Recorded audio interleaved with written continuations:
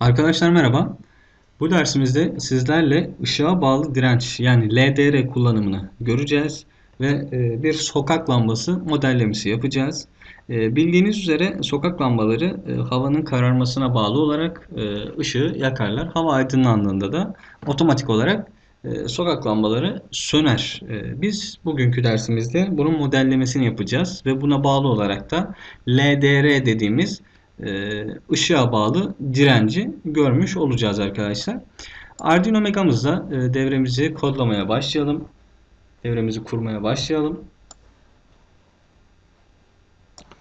Şimdi arkadaşlar kullanacağımız parça LDR yani Light Dependent Resistor. Şurada da görebilirsiniz. Yani ışığa bağlı direnç. Ee, ışığın şiddetine göre bir değer üretiyor arkadaşlar. Şimdi bunun bir tane bacağını 5 volta götürmemiz gerekiyor. 5 volttan buna enerji veriyoruz arkadaşlar. Enerji verdiğimiz bacağımızın rengini sarı yapalım. Pardon kırmızı yapalım. Buradan enerji geliyor. Şimdi diğer bacaktan e, bir dirençle e, GND'ye gideceğiz. Yani eksiye gideceğiz. Bir de aynı bacaktan sinyal alacağız. Şuradan bir direnç alıyorum arkadaşlar. Kullanacağım direnç 1K e, veya 10K olabilir. E, çok fark etmez bu. 1K'lık bir direnç. Hadi 10K olsun.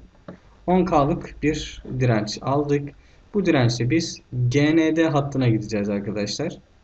Şuradan GND'ye götürüyorum kablomu. Kablomun rengi bu sefer siyah olsun. GND'ye giden kablolarımızı siyah yapalım. Şöyle yapalım. Karışmasın. Şimdi arkadaşlar aynı bacaktan e, analog pinlere gideceğiz. Niye? Sürekli bir değer üretecek. Işığımızın şiddetine göre e, LDR'miz sürekli bir değer üretecek. E, bu değeri alıp kontrol edebilmemiz için bir analog giriş çıkış gerekiyor. O yüzden A0'a bir bağlantı kuruyorum. Kablomuzun rengini de yeşil yapalım. LDR'imizin bağlantısı bu kadar. Ee, basit bir bağlantısı var. Çok da zor değil aslında. Ee, bir tane de LED bağlantısı yapacağız. Yani hava karardığında LED'imiz yanacak. Hava aydınlandığında LED'imiz sönecek şekilde bir işlem yaptıracağız. Bir tane LED alalım. LED'imizin artı bacağı yani uzun bacağı sağa gelecek şekilde devreye bağladık. Ee, soldaki bacak yani eksi bacak buradan e, GND'ye giriş sağlayalım hemen hızlıca. Burada bir tane daha GND'lik yer var. Buraya yani eksiye giriş sağladık. Kablomuzun rengini yine siyah yapıyoruz. Şöyle yaparsak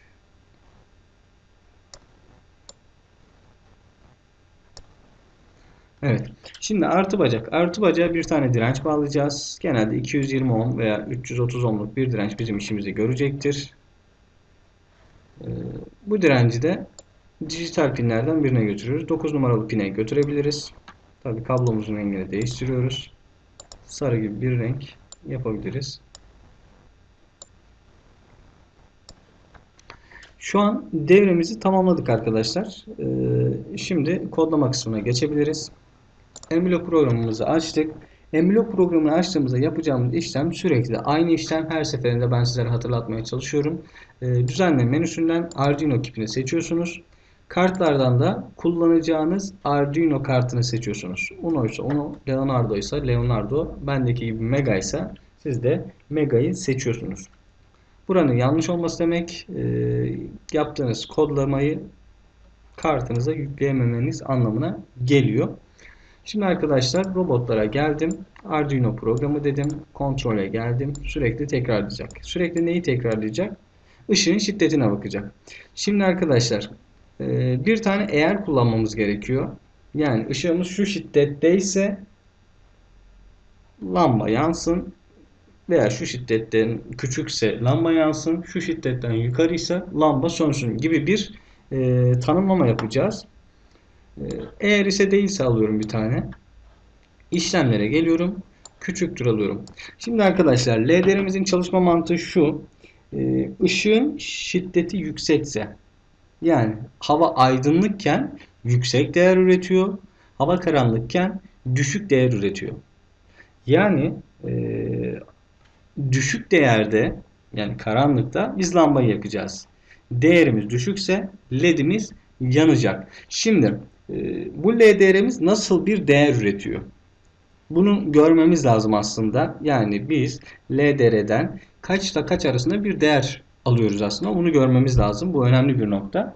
Arkadaşlar LDR genelde 0 ile 1023 arasında bir değer üretiyor. Tabi bu bağladığınız dirence göre e, değişebiliyor. Yani e, ışığın şiddeti çok aşırı güçlü değildir ama bağladığınız direnç e, düşüktür. 1020'leri, binleri görebilirsiniz. Ama bağladığınız direnç büyüktür. Işığın şiddetini yükseltmek zorunda kalırsınız ki bu binli, 1020'li değerleri, 1023'lü değerleri göresiniz. Tabi bu çok kafanızı takacağınız bir mesele değil. E, deneme yanılma yoluyla da yapabilirsiniz. Şimdi bir yöntem göstereceğim kodlamamızın sonunda. O yöntemle de bunu tespit edebilirsiniz. Şimdi eğer bizim LDR'miz nereye bağlı? A0 pinine bağlı. A0 pinine bağlı. Yani LDR'm küçüktür. 250 diyelim. Şu anki benim odamın ışık e, şartı bu şartlarda güzel çalışıyor. 250'den küçükse ben bunu karanlık olarak kabul ediyorum. Ne yapacak? Ee, LED'imizi yakacak. Zaten LED'imizi 9 sayısal pinle bağlamıştık. LED'i yak. Eğer değilse yani 250'den büyükse ben bunu aydınlık olarak kabul ettim. LED'imi düşük yap. Şimdi arkadaşlar kodlamam bu şekilde. Ama LDR'nizin nasıl bir değer ölçtüğünü veya ürettiğini merak ediyorsanız şöyle bir şey yapabilirsiniz.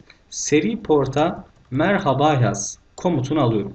Sürekli tekrarların içine üstte bir yere getiriyorum. Şimdi seri porta merhaba yaz. Yani bizim e, programımızda aslında bir ekran var. Bu ekran üzerinden biz üretilen değerleri okutabiliyoruz veya oraya veri yazdırabiliyoruz. Şimdi seri porta neyi yazdıracağım ben? LDRM'den okunan değeri. Evet LDRM'den okunan değeri yani A0 pininin değerini seri porta yaz. Şimdi arkadaşlar daha önce göstermediğim bir yöntem e, onu göstereceğim şimdi sizlere. E, önce tabii şeyimize yükleyelim Arduino'muza yükleyelim devremizi ondan sonra o yöntemi gösterelim. Bağlana geliyoruz. Seri porttan e, tabii bilgisayarınıza Arduino'nuzu bağlamış olmanız gerekiyor. Benimki şu an bağlı. Seri porttan bağlı olduğunuz portu seçiyorsunuz. Ben şu an COM6 ile bağlıyım. COM6'yı seçtim. Bağlantı kurulduğunda şurası zaten yeşil oluyor demiştik. Şu an bağlantı kuruldu arkadaşlar. Ee,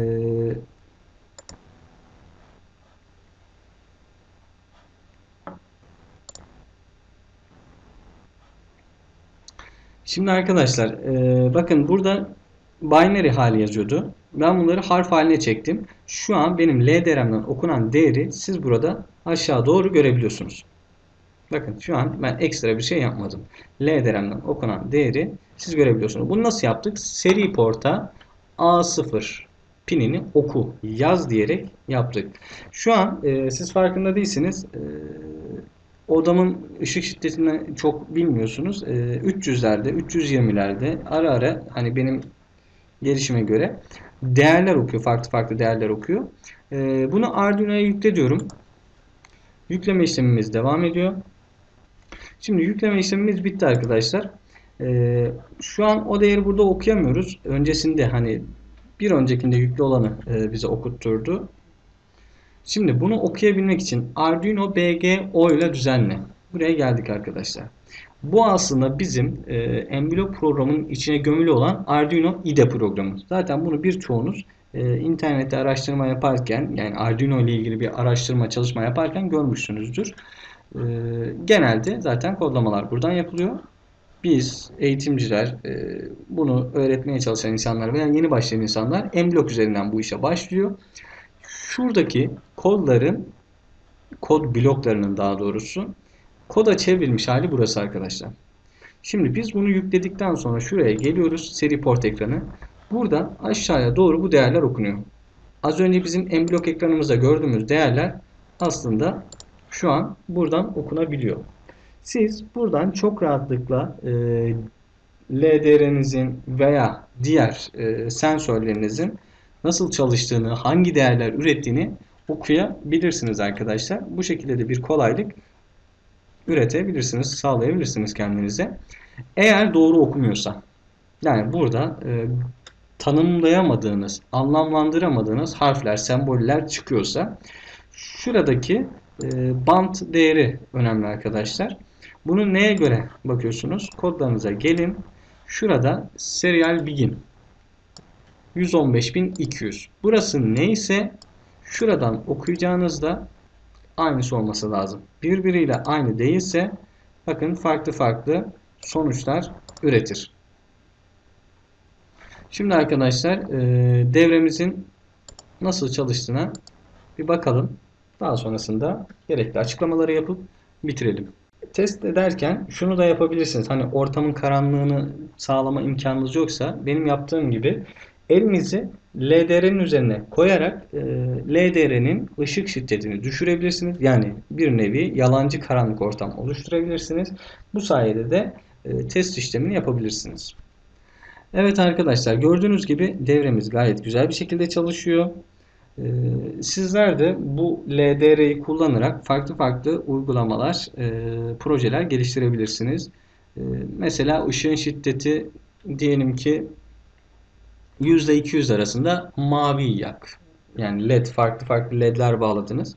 200 ile 300 arasında kırmızı ledi yak. 300 ile 400 arasında işte yeşil ledi yak şeklinde bir şey yapabilirsiniz. Veya e, ışığın şiddetine göre farklı tonlarda ses çıkartabilirsiniz.